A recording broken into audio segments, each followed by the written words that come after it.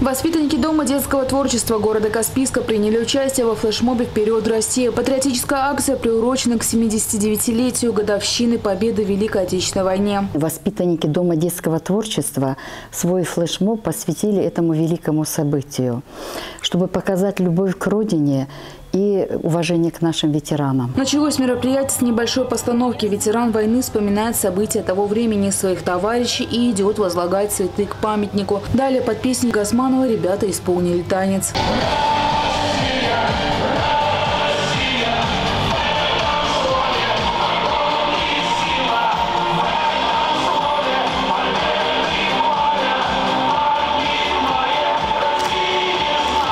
Как отмечают представители ДДТ, подобные мероприятия важны для нынешнего поколения, ведь если не знать историю своей страны, невозможно построить будущее. Поэтому дети должны знать наших ветеранов, знать, что произошло в это время, и э, чтобы у них проявлялось уважение к старшим и вообще к военным людям. Завершился флешмоб «Вперед, Россия» лозунгом «Мы помним, мы гордимся». Мы помним, мы гордимся!